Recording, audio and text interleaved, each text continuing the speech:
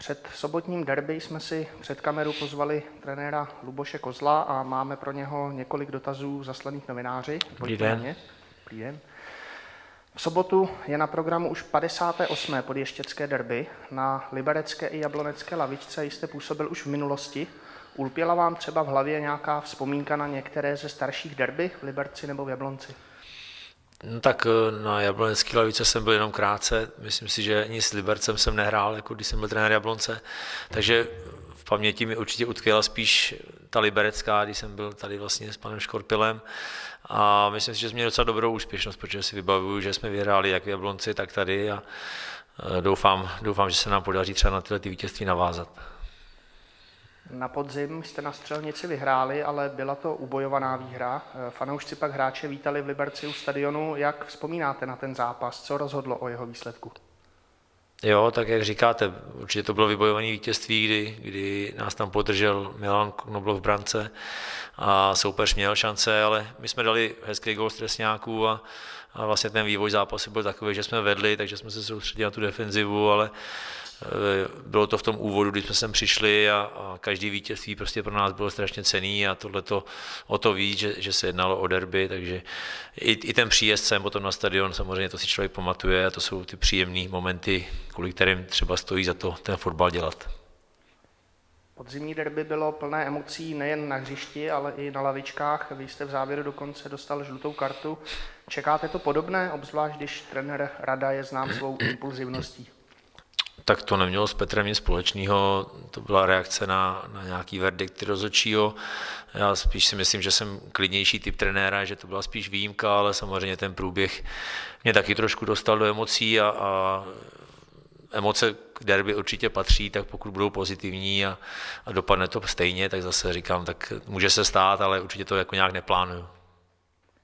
Jablonec byl po podzimu nečekaně nízko v tabulce. Na jaře to zatím vypadá, že se herně i výsledkově zvedá. Vy na první jarní výhru teprve čekáte, bude se ale hrát v Liberci. Platí i pro nadcházející zápas, že derby nemá favorita? Já myslím, že určitě, tak samozřejmě to, tohle torčení má něco do sebe, je to asi pravda. My jsme sice ještě nevyhráli, ale hráli jsme dvakrát venku a Eh, my chceme doma, doma tady být úspěšný, ty, ty, ty jsou zápasy, které jsou důležité pro nás.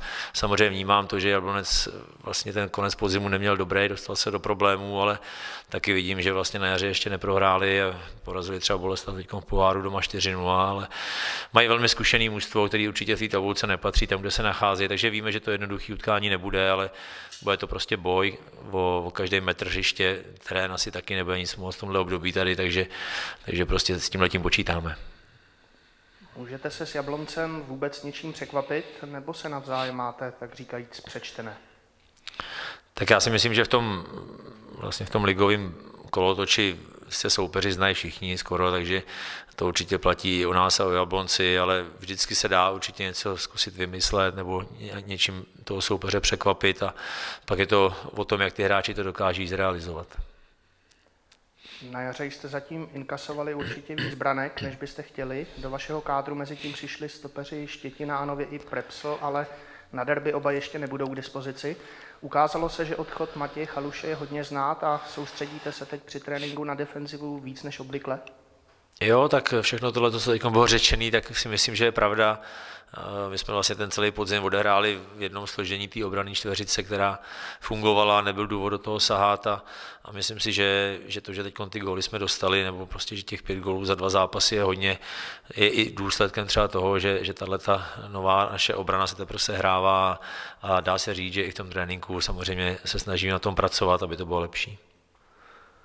Máte k dispozici poměrně široký kádr, ne všichni hráči se mohou dostat do 18 člené zápasové nominace, potažmo na hřiště.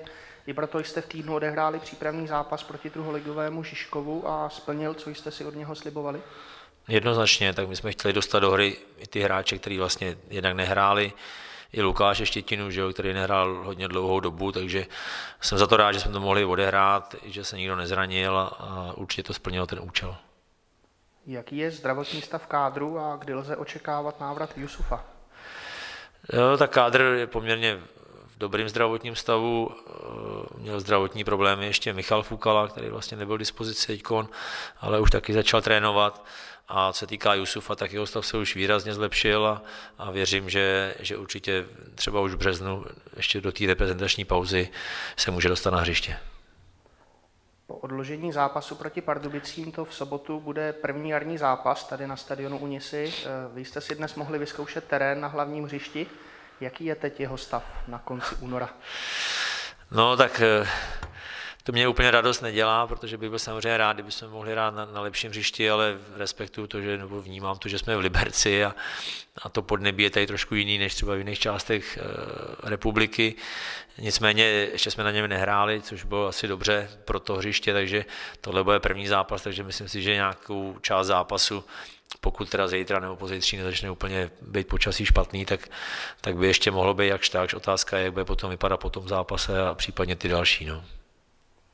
Jak může do zápasu promluvit, že se na stadion už dostane nebo může dostat přes pět tisíc fanoušků? Těšíte se na to a jak byste je na sobotní bitvu pozval? No jednoznačně, já jsem jako za to strašně rád, protože hrát před lidma je úplně něco jiného, než hrát před prázdnýma ochozama a věřím tomu, že, že i ty lidi, že budou natěšený, že, že konečně můžou jít na fotbal a i když je ještě počasí takovýhle zimní, tak, tak si myslím, že derby je pro ně tou nejlepší pozvánkou na úvod a, a budu doufat, že, že, že nám přijdou vlastně podpořit, že nás přijdou podpořit a, a že to bude po delší době zase pro nás takovýto typický domácí prostředí.